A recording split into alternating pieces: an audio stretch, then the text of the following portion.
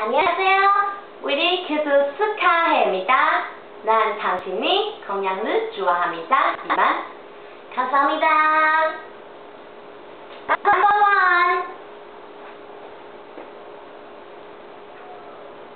잊어두게 살아라 나오시오 난 못해 잊어두게 살아라 나오시오